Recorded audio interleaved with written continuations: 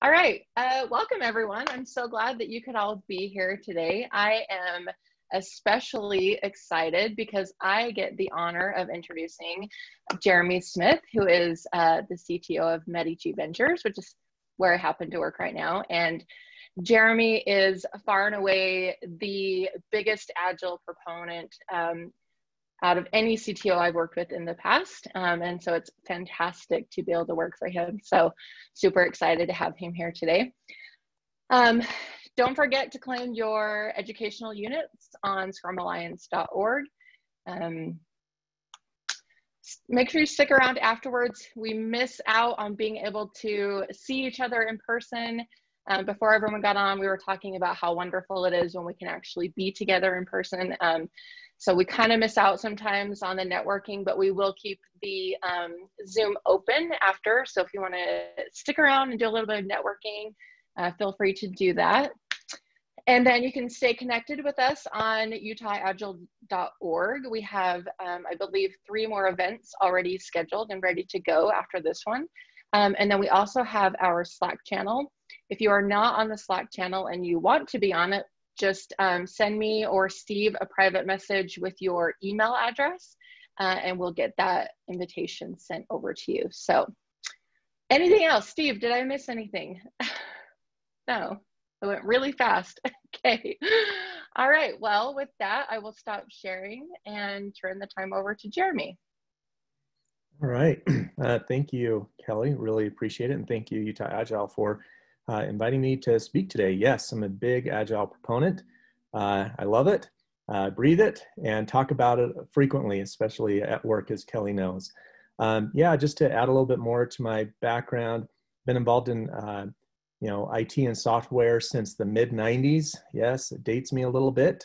Um, got involved in a, a startup uh, where we provided data to insurance companies. And then uh, sold that to a private equity fund and then later to uh, a publicly traded company uh, in 2014. And uh, during that journey, going from the 90s, a small company, as we grew to a more medium-sized company, uh, you know, we had to adapt. And I learned about uh, Agile and Scrum. And in, gosh, mid 2010 area, somewhere around there, and really uh, found value in it. And, you know, I, will admit, uh, implemented it poorly at the beginning because uh, didn't really understand it, but then learned uh, along the journey. So, uh, you know, became a, a, big convert. So again, thank you for having me and I'll share my screen here.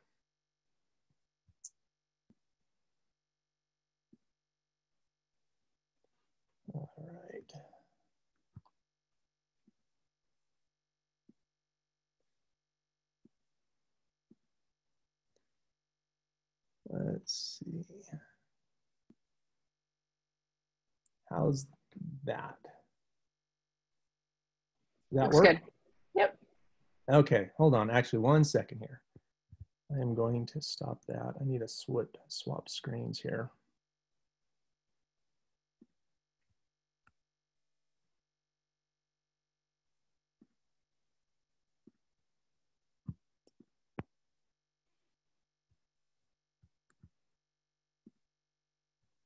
Okay.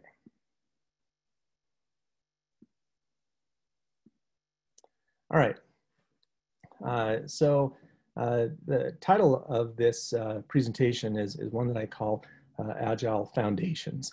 Um, you know, when I want to see uh, my family and friends' eyes glaze over, I start talking about Agile, to be honest with you. But I'll tell you, I know I'm amongst uh, Agilists and friends in this community who understand it. So thank you again for, for having me here. All right. So first of all, I like to uh, uh, give credit uh, to, uh, the people who came beforehand. Um, so this quote from Sir Isaac Newton, he says, if I have seen further, it is by standing on the shoulders of giants.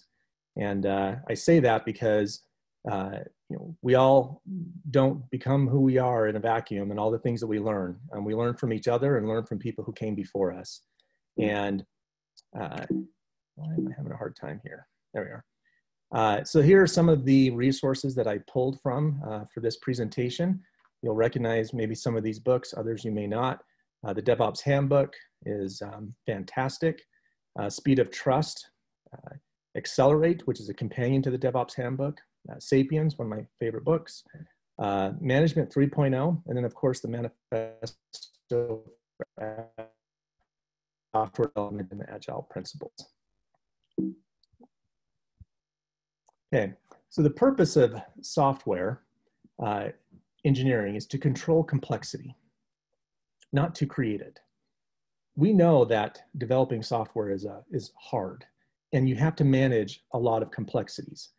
Uh, sometimes people like to compare, you know, people who are not familiar with software development compare it to maybe like a manufacturing facility. Oh, you just kind of like a car going through an assembly line. Well, that's a process where there's a lot of repetitive motion, right? Software is not necessarily, the actual outcome is not necessarily a, a product that is repeated, um, but the process can be. And so how do you manage all of these complexities? Uh, when changes come, uh, you know, late in, in the game, so to speak, um, how do you manage all of that? And that's, that's something the Agile addresses perfectly. So I think many organizations have experimented with Agile. And some will say, yes, Agile works. And others will say, you know, doing Agile didn't deliver the expected results. And so I want to provide uh, maybe some of my perspective on the difference of where we see Agile being successful and where Agile maybe not delivering what people were hoping for. So, I don't know if you uh, have all experienced this. I know I have.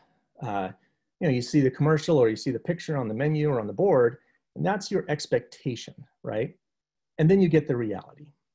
Well, that gap between expectation of reality can sometimes be a wide gap, as we can see in this picture. And this gap, it creates stress, frustration, and disappointment.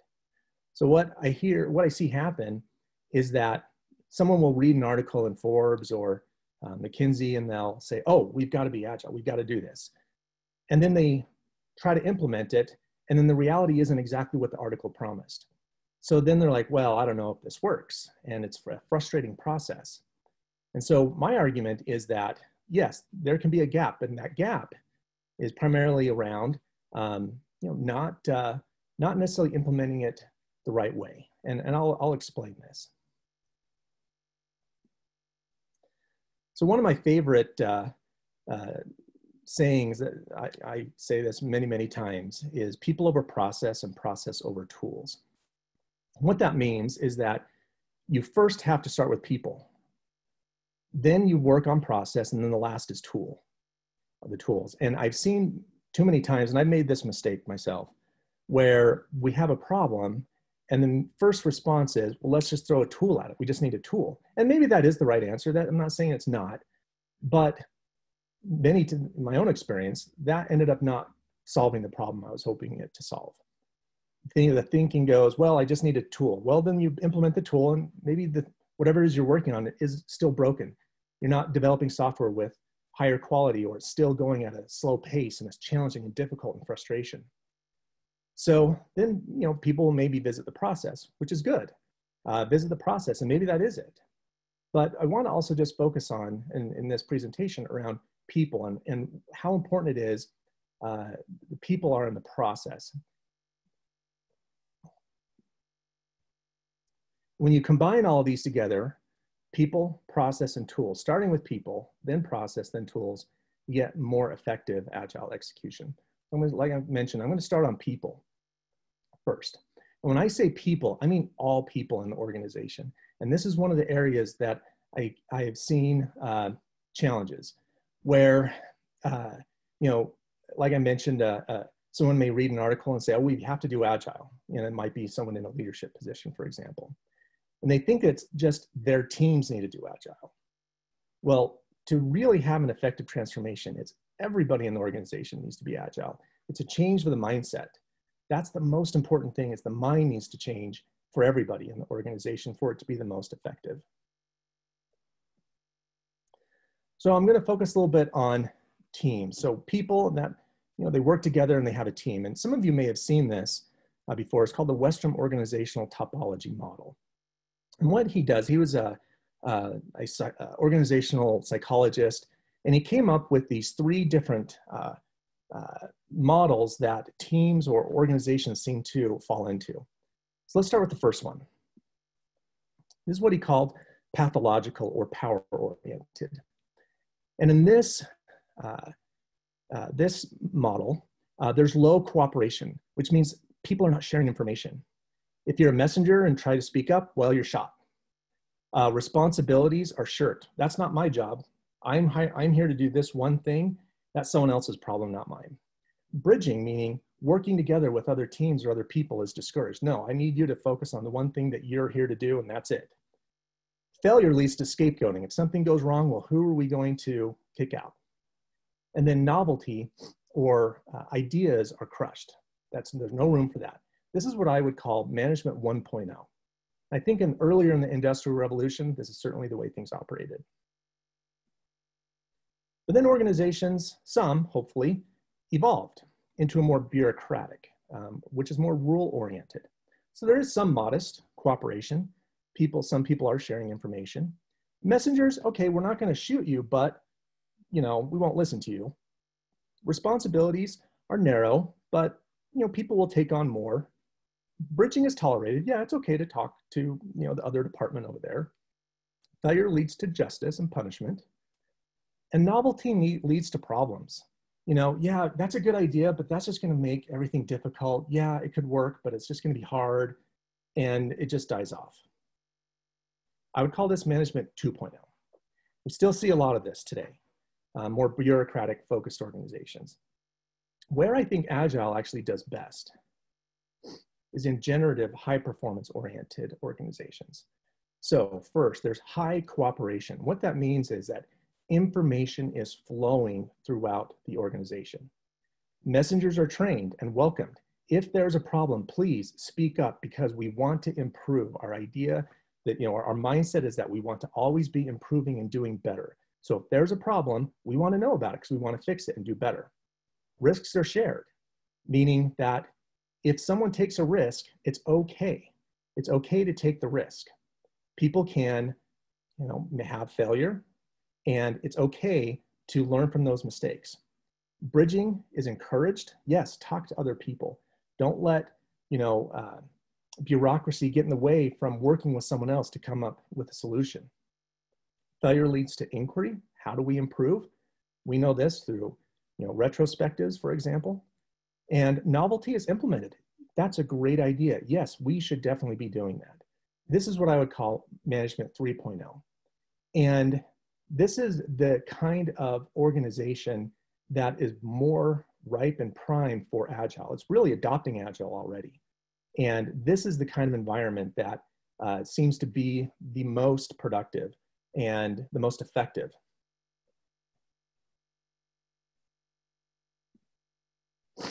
So what makes these three teams different? Where one team can collaborate and build a complex vision together while other teams continually struggle?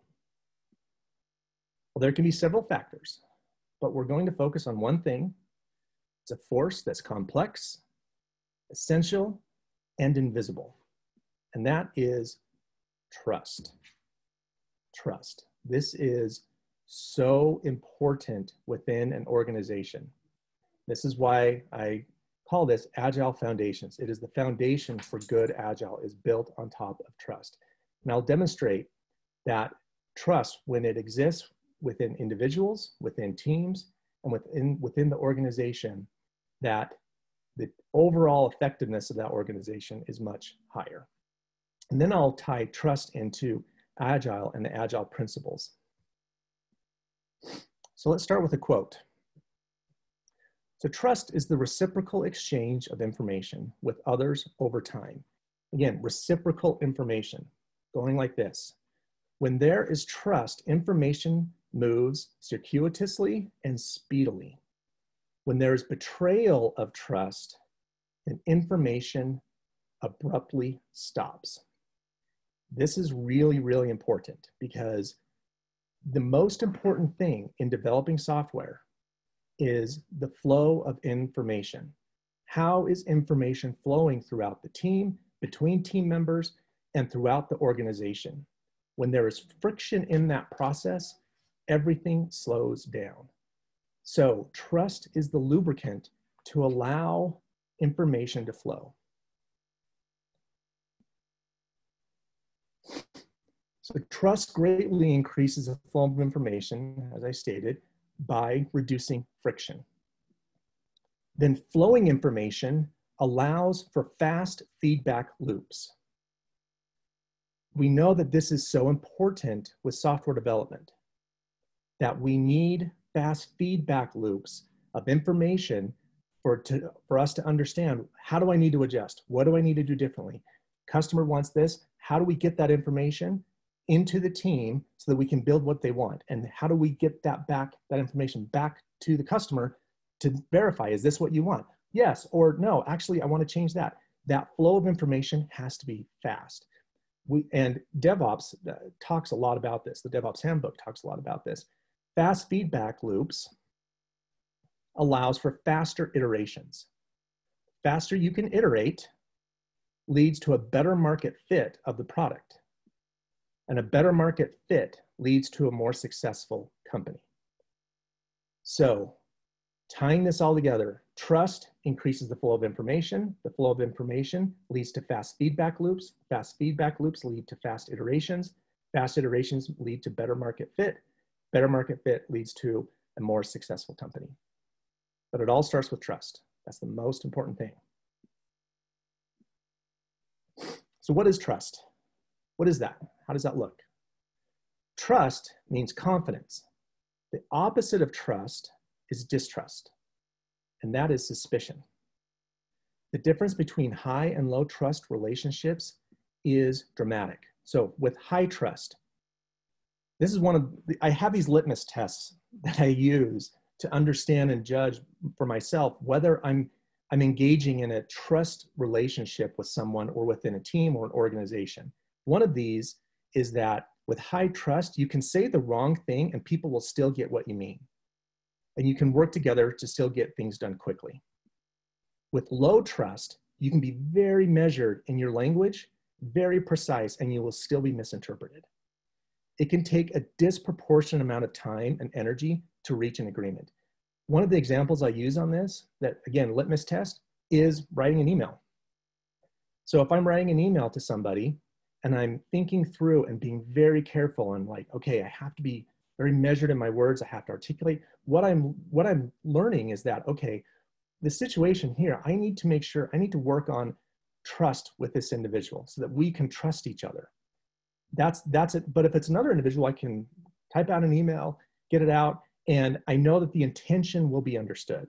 I don't have to put so much energy into making sure that every word is precise. That, that's how I kind of just judge whether I'm operating in a trust um, kind of uh, you know, relationship with somebody. This is a quote from uh, uh, Chris Willis. He was Domo's chief of design.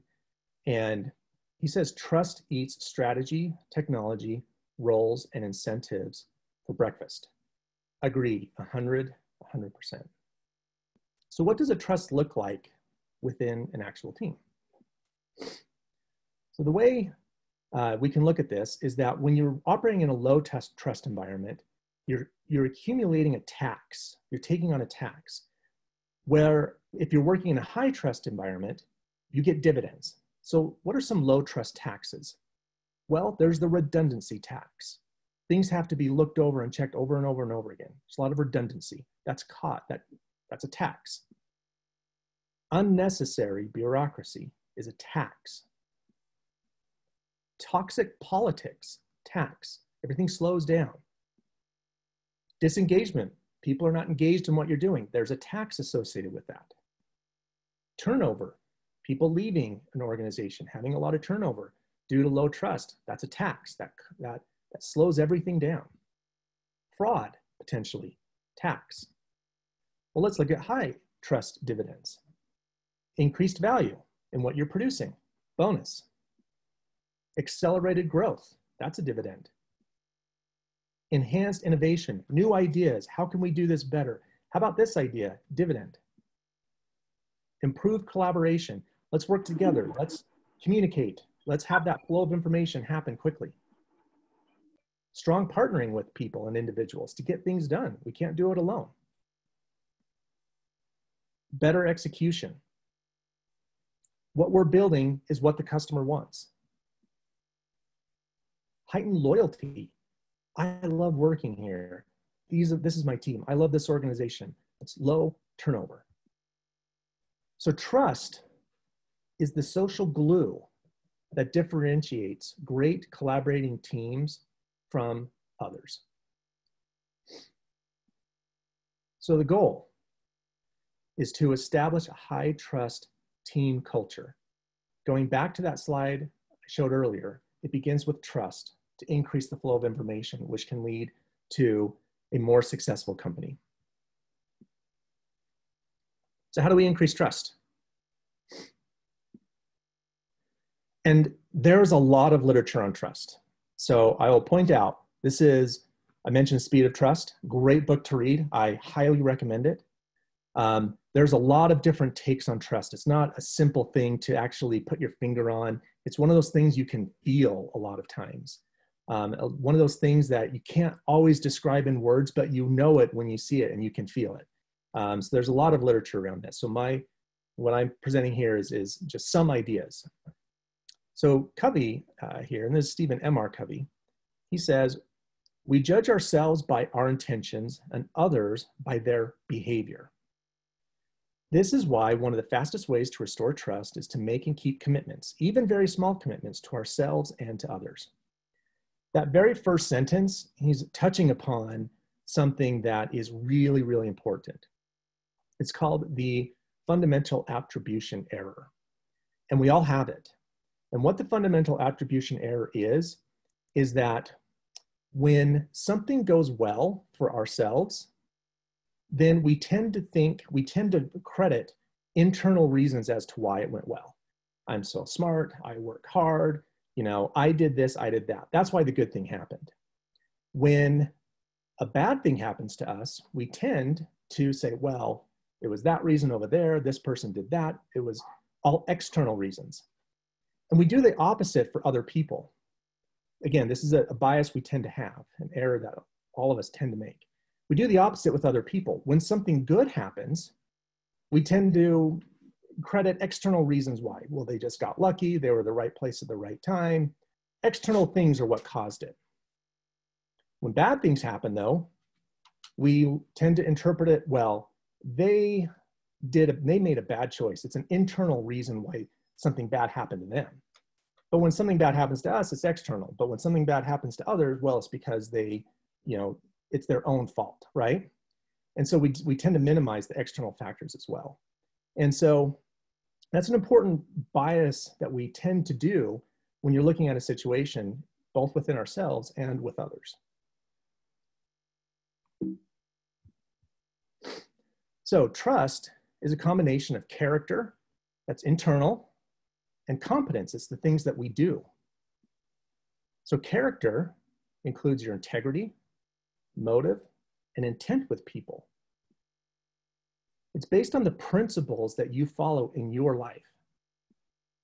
It's constant and necessary for trust in any circumstance. Character is constant. It's internal to you and it's, it's who you are, it's your character. Also, you combine that with your external things that people see and that people can understand what you're doing, which includes your capabilities, your skills, results, track record. Competence is situational, depends on where the circumstance, on what the circumstance requires. And it's external, it's your actions.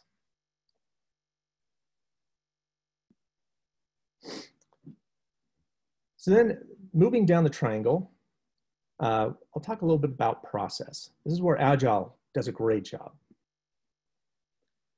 Trust is the foundation for the manifesto of Agile software development. So let's do a quick review of that. And I want you to put, put your mind into framing, thinking about this in, in trust. Like how does trust influence this? Or what does trust mean in the, in the manifesto? We are uncovering better ways of developing software by doing it and helping others to do it. Through this work, we have come to value individuals and interactions over process and tools. Process and tools are important, but again, people, individuals, how do we interact? Are we sharing information together? When we're in stand up, do people just kind of, well, I'm doing this and this and this? Or are they actually sharing valuable information that others need to hear that we can talk about and collaborate on? Working software over comprehensive documentation. Documentation is good, right? But the primary measure is, is it working? Software actually working? Customer collaboration over contract negotiation. There is no substitute for working close with a customer, collaborating with them, sharing the information, getting the information back and forth, moving that quickly. Responding to change over following a plan. This goes back to the Management 3.0, the generative uh, organization. Are people adaptive? Can they change? Can they change when something happens? Can we change our process? Can we change how we work? Can I share that information and trust that person to say, hey, this was a mistake let's talk about it and how we can how can we all improve so we all can learn and move forward. That is while there is value in the items on the right we value the items on the left more. So the agile manifesto aims to build trust by teaching principles not micromanage the process not micromanaging the process. So let's again i'm going to present all the principles. You're all familiar with them. You know what they are. But I'm just going to present them. I'm not going to read them out loud. I'll present them one by one, and I just want you to think about it in the in the framework of trust. How does this look within a trusting environment versus a non-trusting?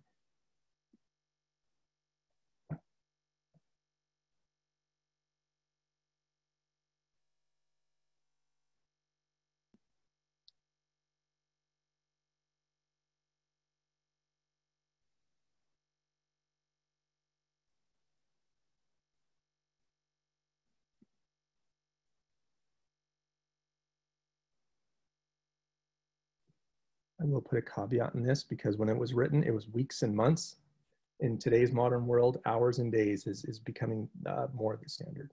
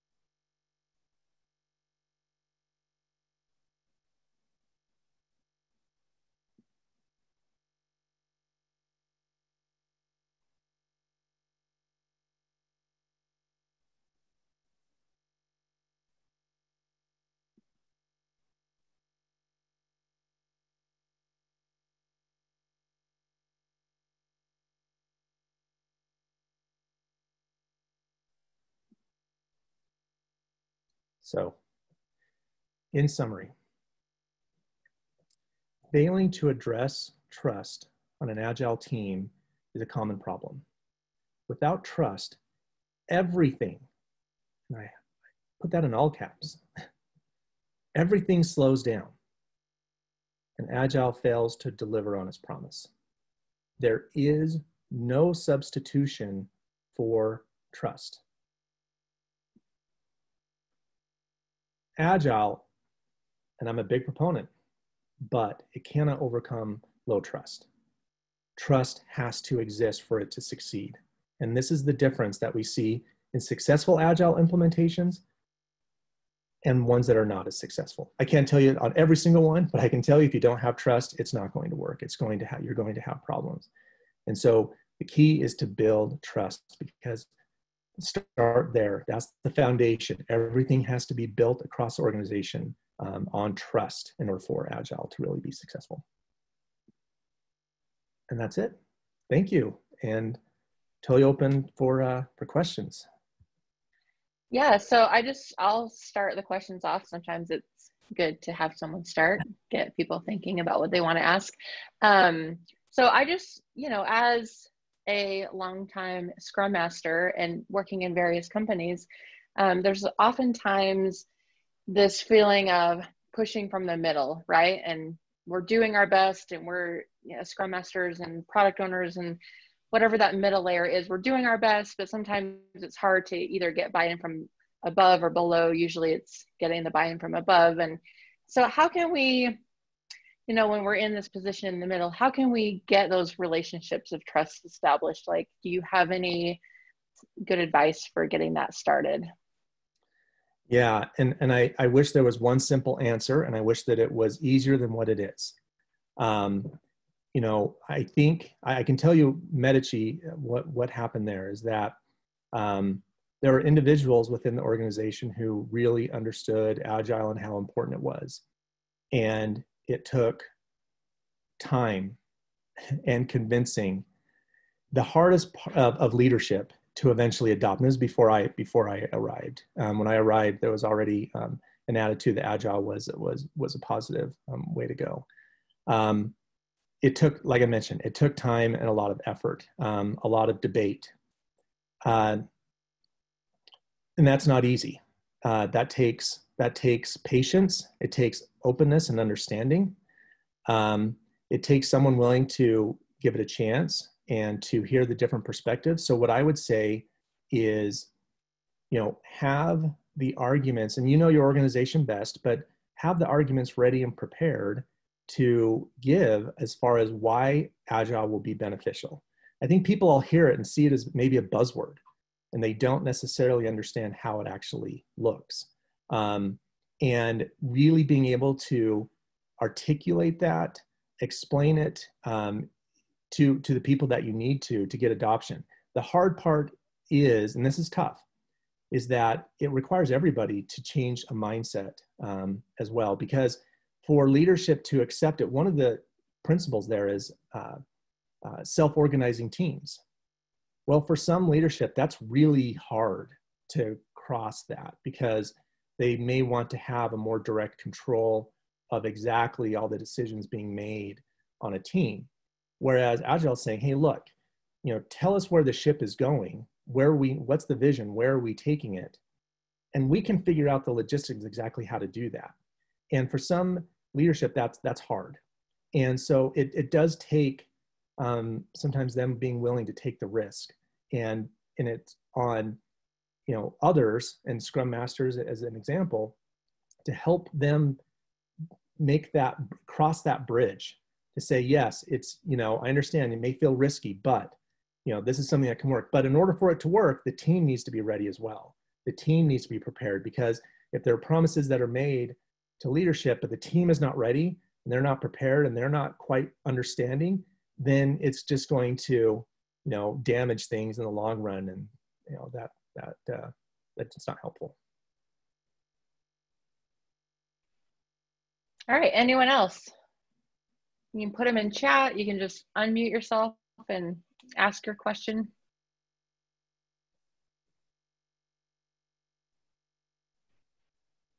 I can wait.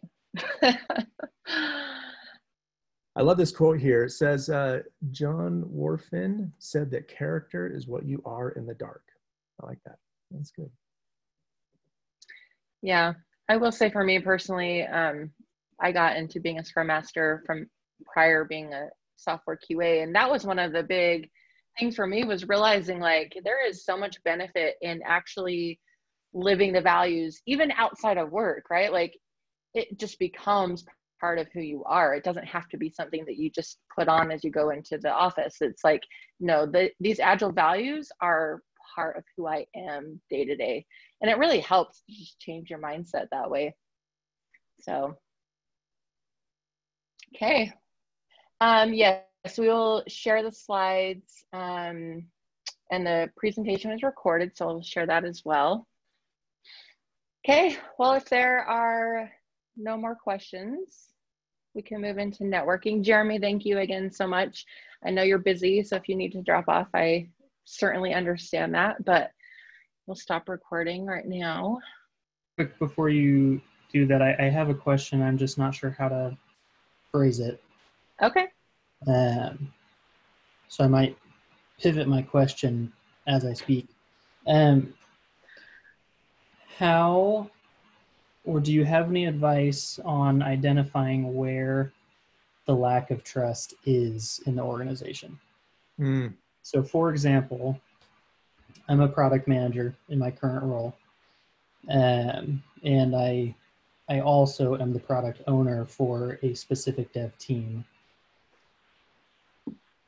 And our Scrum Master also doubles as a program manager and so we have a lot of doubled roles. And so sometimes I feel like our team is doing really well and communication is really great. And sometimes I feel like it's breaking down everywhere. And I'm not sure if it's because of the role doubling or if it's because of a lack of trust. And, and I'm trying to think through right now as we have this, this meeting, am I the one that's causing the breakdown of trust? And if I am, how do I identify that? Mm. Do you have any thoughts? Yeah, I do. Um, first, doubling up on roles is difficult. Um, that's that's a challenge, especially uh, a Scrum Master. I, I do uh, really side on a dedicated Scrum Master. Um, I, I nickname Scrum Masters as the steward of the process. And if you look at the second law of thermodynamics, which is entropy, uh, that process also ex experiences entropy if you don't have a steward to watch over it and protect it to make sure the process doesn't break down. Because if it's left unattended without a steward, it begins to degrade and things start getting overlooked and all of that. And that's why I feel it's so important um, to have a dedicated Scrum Master. So I did want to say that because they can put all their attention on being that steward of the process. Uh, with regards to sometimes you feel that uh, information is moving well and other times it seems like it's breaking down. Uh, the question I actually would uh, put back towards you, and this was this uh, Aaron, is that right? Yes. Okay, Aaron. Um, the question I would pose back is, you know, is your team uh, reflecting and adapting? Are you having the conversations when you see communication or information slow down? Are you addressing that explicitly? Um, do you feel, do you or your team feel comfortable even talking about those breakdowns and is that happening and if so are you making the necessary adjustments to um, to try to address that to understand how and why it's happening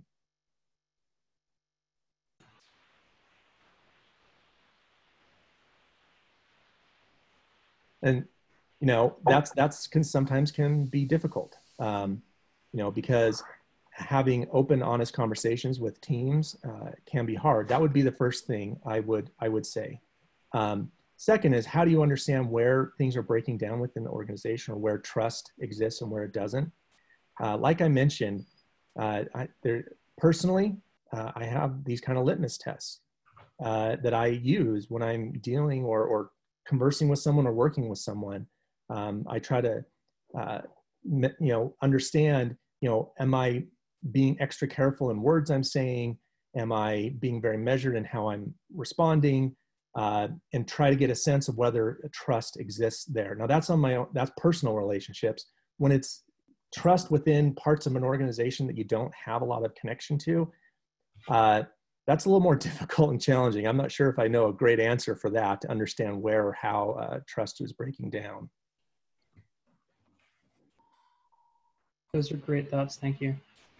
Welcome. Um, just as a, a quick follow up, I feel like at least for us, I I am very system oriented and loud, and some of my team is not very system oriented and quiet. And so we we bring up the topic a lot. Like if, if something's going wrong or there's, you know, some question inefficiency, whatever it is, we bring it up, but then I don't I hear myself talking and I don't hear my team talking, even though I'm specifically allowing time for people to think and respond. Like I, I personally feel like I'm allowing the team to give input and not just rambling, but I still don't get input back from the team. They don't they don't offer up their opinion. They don't say if they agree or disagree. It feels like they just they say yes sir and they move on. Right. You might want to try a one-on-one perspective at that point. Um, I'm the same way. I'm more loud than some of my team members, and it just might be that they don't want to talk in a group setting. So, you know, maybe try and identify the person that could be the champion of the change you're hoping to see and focus in on that person and try and get them on board. And then usually, um, if they're kind of the person that everyone tends to follow, then you'll probably get people to start opening up more, I would say. Yeah, that's a good thought. Thank you. Nice. Can I throw in one more question? Yeah. Hey, Jeremy, thanks. Thanks a ton for this. I, uh, I'm on the side of selling the tools. so I get the chance to talk to a lot of different teams from time to time, obviously about, about this. And I want it to be successful on their side. Uh, you, you, brought out some of the, the points that I, that I've been curious why things weren't working. And now that I see it, I'm curious what kind of maybe advice you have in regards to how companies, um, executives can go about this type of cultural change. Uh, so they build this kind of trust. You know, what, what might be something I can point them towards or something they could start investigating so that they can get this vision of what they need to do for people, you know, over processes. Absolutely. Um, I mentioned right at the very beginning, speed of trust uh, that lays a, a great foundation on trust, on understanding it, on recognizing it when it's there, recognizing it when it's not. Um, that first is is a wealth of knowledge, and, and I wish I could pack all of that into this presentation, but I highly recommend that. The second thing I would say is that you know at Medici Ventures, you know we have a you know I know it may sound cliche, but we have a mission statement and core values, but it's not just a you know we have a big piece of paper on the wall that has it but it's not just a piece of paper. It's something we frequently talk about. We bring it up at every stand up we focus on one of the core values. We talk about them. We have a value our values program where people if they recognize one of their colleagues exhibiting one of the core values that we believe in then they can anonymously submit their name and the person gets $100 um, you know we have these things in place to acknowledge and recognize when our values are being followed and we talk about trust. This isn't a thing that like we you know we don't talk about. We talk about trust. We you know meetings that i run with with my management team we explicitly explicitly will even talk about did you know are we operating in high trust or low trust? Oh when i did that did i break some trust there? How can we rectify that? Like it's a topic of conversation and when you get everybody on the same page talking about it, seeing that framework of like, okay, we always want to maintain and build trust. And if we're doing something that is not leading, you know, that's not living the core value, that's breaking down trust within your organization, right? People see that. They're looking at leadership and how they're behaving. And if they're not following the core values, that starts to break down trust. And so, you know, it's holding everybody across the organization to those standards. And so, you know, those are some of the things that we do. We talk about it, we bring visibility to things, you know, we talk about trust, but you know, right at the beginning though, like I said, I would recommend reading Speed of Trust. It's a fantastic book to kind of book to start that kind of uh, conversation and, and uh, you know, view and perspective on trust. Awesome. Thank you. It's been on the list. I'll have to bounce it to the top. Yeah. It's great. It's great. Yeah, one other one that I loved was uh, Five Dysfunctions of a Team. Yeah. I haven't read that one. Type of topics too. It was, but I think uh, Stephen, you know, MR Covey will go deeper. That'll be great. Thank you. Yeah, you're very welcome. And I also noticed someone recommended the Fearless Organization, which I've heard of but have not read yet. Um, so, and then also uh, Google, uh, they mentioned, uh, Eliza here mentioned psychological safety. Um, if you go to rework, uh, I think it's rework.google, but just Google rework, R-E work. Um, Google, they have, you know, they have a team, they try to analyze how teams operate and what constitutes high performing teams versus low performing teams. And they publish all their findings there. And they have a whole framework around psychological safety and what that leads to. That's another reference that is really, really helpful that, you know, read the articles and go through it and just, you know, build your own personal understanding start sharing with others in your organization as well. Um, it's great. So Jeremy, did you see the question about uh, how can we make sure developers trust each other better in delivering in an expected pace to respect the product owner vision? The other example, of how we can make sure developers trust each other. Yeah, so um, that's that's a that's a tough one. That's right personal relationships within a team. Um, I think first to build trust, I talked about competency, right? Being consistent as well. Um, you know, to build trust, you have to demonstrate, hey, you know, this is these are my capabilities, and I can do these things consistently. Um, that helps build trust. That people think, oh, I can rely on this person. Um, I think being honest uh, as well. You know, if uh, and this starts again, you have to have trust to have these kinds of conversations that if you're in a retrospective, for example, and there was an inconsistent uh, delivery and it, you know, the team needs to be in a, a place where they're psychologically safe, where there's trust, where they can have those conversations about why did we slow down? Well, usually there's a reason. I mean, you know, it could be, you know, that we ran into issues that we weren't anticipating, some unplanned work that occurred. Uh, it could be that you know someone was sick. It could be uh, that someone wasn't really super motivated during that last sprint, for example. Um, you know, and providing a space where there can be discussion about, hey, how can we help you succeed, for example. Um, you know, but also be, recognize that teams. I think it's it's it's challenging for any team, even teams that are well have a trust and and and have worked together for a while. It's still hard for them to maintain a constant pace. Um, it still is challenging. I mean, Kelly knows this. She works on teams um, that are fantastic, fantastic. I mean, they're very good. And even still on those teams, it's still hard. Things happen.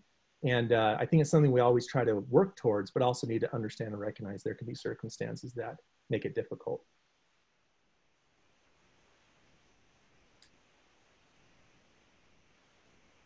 All right, any other questions? Mm. I like Cliff's comment here. I think it's important to make your values known to the team. That, I think that's great.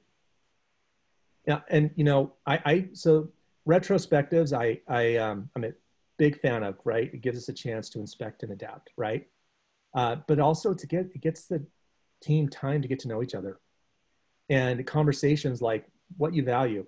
Some retrospectives that I could, I, I, I've been a scrum master. I, I loved it. Um, after I left the, after we sold the company, kind of figuring out, well, what do I want to do? And I love being a scrum master and I became a scrum master and loved it, dive deep. And, and I love working hands on with teams.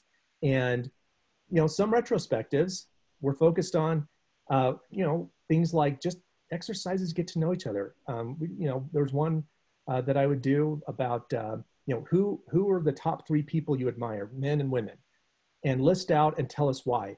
I'll tell you what, get people to open up about their moms or about relationships that they have. You get to know people.